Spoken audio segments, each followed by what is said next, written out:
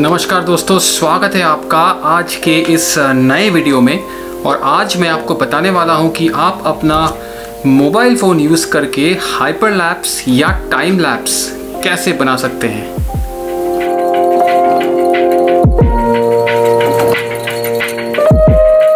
तो देखिए, दो चीज़ें होती है। सबसे पहले जो मैं आपको डिस्कस करना चाहता हूँ आप लोगों से, एक होता है हाइपर लैप्स दूसरा होता है टाइम लैप्स अब कई चीज़ों में हम लोग ये कन्फ्यूज़न हो जाता है हमको कि हाइपर लैप्स और टाइम लैप्स में क्या डिफरेंस है। आपके फ़ोन में हाइपर लैप्स या टाइम लैप्स दोनों का ऑप्शन हो सकता है। आपके फ़ोन में सिर्फ़ हाइपर लैप्स या सिर्फ़ टाइम लैप्स हो सकता है। डिपेंड करता है कौन सा फ़ोन यूज़ कर रहे हैं, कौन सा मैन्युफैक्चरर क्या क्या फीचर्स किस प्राइस ब्रैकेट में, किस फ़ोन में देना चाहता है? तो M31S में फॉर एग्ज़ाम्पल हाइपर लैप्स है। टाइम लैप्स का मोड नहीं है। मुझे पर्सनली इतना फ़र्क नहीं पड़ता है but just because you should know मैं चाहता हूँ कि आप लोगों को डिफरेंस बताओ सो so दैट आगे जाके कभी आपको टाइम लैप्स या हाइपर लैप्स में से चूज़ करना पड़े तो आपको पता हो कि कौन से मोमेंट में, कौन से फ्रेम में, कौन से वीडियो में आप क्या डालना चाहते हैं। टाइम लैप्स होता क्या है? टाइम लैप्स में एक कैमरा कई सारे images different different time frames में लेता रहता है। For example every two seconds I set up my camera to take one shot तो उसी चीज़ को अगर मैं एक घंटे तक 60 मिनट तक दो दो इमेजेस लेता रहूँ, उन दो दो इमेजेस को जब वो जोड़ेगा एक साथ तो एक टाइम चलते हुए दिखता है यू नो अगर फॉर एग्जांपल मैं सनसेट शूट कर रहा हूँ और मैं चार, साढ़े चार, पाँच बजे से लेके साढ़े सात सात बजे तक, दो घंटे, मैं एवरी टू सेकेंड्स या every three seconds depending on my choice मैं इमेजेस लगा देता हूँ ऑटोमेटिकली शटर क्लिक होता रहता है और दो ढाई घंटे में एटलीस्ट लगा लीजिए 200-250 इमेजेस फॉर एग्जांपल क्लिक हो जाते हैं। उसको मेरे पास दो ऑप्शन है। या तो मैं पोस्ट प्रोडक्शन सॉफ्टवेयर में पीसी में या मोबाइल में ले जाके मैं टाइम लैप्स क्रिएट करूँ, या फोन्स में या कई डीएसएलआर में आजकल ऑलरेडी टाइम लैप्स मोड आता है, जो कि फाइनल वीडियो आपको प्रोड्यूस करके देता है। आपको कुछ करने की ज़रूरत नहीं है, आपको जस्ट वो वीडियो उठा के अपने यूजेज में सोशल मीडिया में या कहीं पर भी डाल सकते हैं। अब हाइपर लैप्स क्या होता है? Hyper lapse is nothing really but a moving time lapse for example अगर मैं गाड़ी चला रहा हूँ और मेरे को पूरा मूवमेंट दिखाना है ट्रैफ़िक का, या मैं कहाँ जा रहा हूँ, अपने परस्पेक्टिव से मुझे किसी को दिखाना है तो मैं हाइपर लैप्स यूज़ कर सकता हूँ। यूज़ तो मैं टाइम लैप्स भी कर सकता हूँ बट मूवमेंट जहाँ पे आ जाती है, वहाँ पे hyper lapse functions better because hyper lapse becomes much more smoother the video becomes much more smoother if you are using hyper lapse तो M31S में हाइपर लैप्स मोड है। मैं दिखा देता हूँ कि हाइपर लैप्स मोड आप किस तरह से एक्सेस कर सकते हैं और हाइपर लैप्स मोड यूज़ करके आप किस तरह की वीडियोस प्रोड्यूस कर सकते हैं। तो सबसे पहले आपको ऑफ़ कोर्स जाना पड़ेगा अपने कैमरा ऐप में। हाइपर लैप्स को टैप कर दीजिए एक बार। इसमें आपको काफ़ी सारे ऑप्शंस ऊपर मिल जाएँगे। अगर आप ऊपर देखें टॉप राइट में तो right now it shows 16x ये x क्या होता है अब?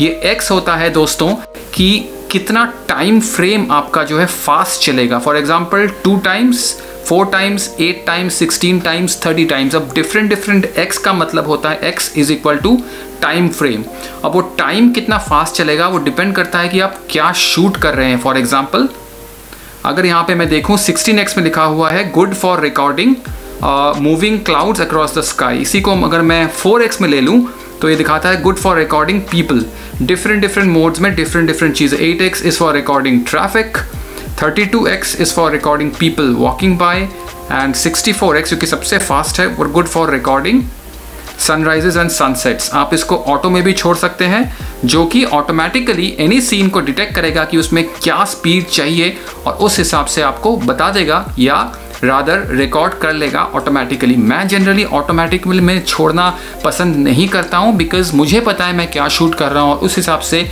मैं खुद अपनी स्पीड चूज़ करना चाहता हूँ। तो आप लोग भी अगर हाइपर लैप शूट करते हैं तो अपने हिसाब से अपना स्पीड चूज़ कीजिए। सब कुछ यहाँ बता दिया गया है। अब मैं आपको दिखा देता हूँ कि मैंने एक दो हाइपर लैप्सेस ऑलरेडी शूट किए हैं।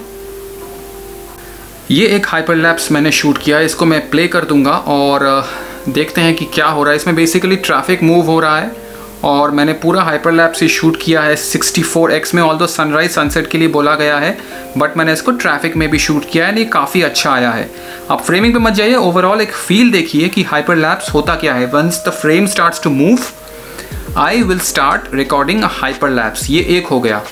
दूसरी चीज़ मैंने ये रख दिया था गाड़ी के छत के ऊपर, और मैं आपको दिखाऊँगा कि स्काई की मूवमेंट जो है क्लाउड्स की मूवमेंट वो मैंने रिकॉर्ड करने की कोशिश की है 32x में। वो मेरे ऊपर है, मेरी चॉइस है, मैं और भी फास्ट जा सकता था बट मुझे लगा 32x is good enough for the kind of movement that I wanted in a frame तीसरी चीज़, तीसरा मैंने टाइम लैप्स या हाइपर लैप्स शूट किया था। रात को मैंने ये नीचे रख दिया था फ़ोन और लोग या ट्रैफ़िक जब मूव कर रहा है तो ये हाइपर लैप्स बना रहा है। इसको मैं टाइम लैप्स मोड में भी शूट कर सकता था but since time lapse mode नहीं है एम थर्टी वन एस में हाइपर लैप्स मोड में मुझे ये चीज़ जो है शूट करनी पड़ी।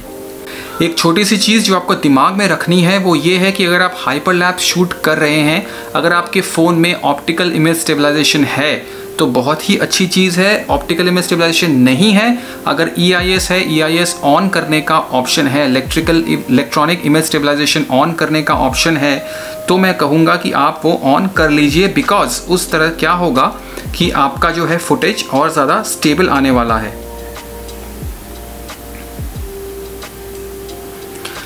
एम थर्टी वन एस में ऑप्टिकल इमेज स्टेबलाइजेशन नहीं है अनफॉर्चुनेटली वो ज़्यादा महँगे फ़ोन कैमराज में आते हैं। इमेज स्टेबलाइजेशन इलेक्ट्रॉनिक है बट हाइपर लैब्स में आप इलेक्ट्रॉनिक इमेज स्टेबलाइजेशन ऑन नहीं कर सकते हैं, वो ऑप्शन जो है ग्रेड आउट है। तो वो एक नेगेटिव पॉइंट मैं कहूँगा कि इलेक्ट्रॉनिक इमेज स्टेबलाइजेशन अगर ऑन करने का मौका देता सैमसंग इस वाले फ़ोन में it would have been even better time lapse भी नहीं है, जो कि एक और नेगेटिव पॉइंट है because hyper lapse is fine but कई मौक़ों पे ऐसा होता है कि मुझे टाइम लैप्स चाहिए होता है हाइपर लैप्स ना यूज़ करके बिकॉज़ हाइपर लैप्स मूवमेंट के लिए बहुत अच्छा है बट अगर आप स्टिल कुछ शूट कर रहे हैं सनराइज सनसेट तो टाइम लैप्स वर्क्स बेटर तो डिफरेंस हाइपर लैप्स और टाइम लैप्स का यही है। Time lapse is the passage of time और फ्रेम बाय फ्रेम फ़ोटोज़ लेके टाइम लैप्स का जो सॉफ्टवेयर के थ्रू ज्वाइन कर दे के एक वीडियो बना देता है फ़ोन या कैमरा जिसमें भी आप शूट कर रहे हैं, वो फाइनल वीडियो टाइम लैप्स कहलाती है। हाइपर लैप्स आप कब यूज़ करेंगे? हाइपर लैप्स तब यूज़ करेंगे अगर आप मूवमेंट दिखाना चाहते हैं। फॉर एग्ज़ाम्पल ट्रैफ़िक में अगर आप मूव कर रहे हैं या गाड़ी में आप कहीं ड्राइव कर रहे हैं और गाड़ी के डैशबोर्ड में आपने फ़ोन कैमरा रखा हुआ है और आप मूवमेंट दिखाना चाहते हैं तो आप हाइपर लैप्स यूज़ कीजिए because hyper lapse is generally much more smoother और स्मूथ मेरे को मूवमेंट दिखानी कब है? जब फ्रेम मूव कर रहा है। उसमें आप हाइपर लैप्स यूज़ कीजिए। डिफरेंट स्पीड्स है। Depending on the kind of scene that you are shooting आप स्पीड चूज़ कर सकते हैं। उसको ऑटो में छोड़ सकते हैं।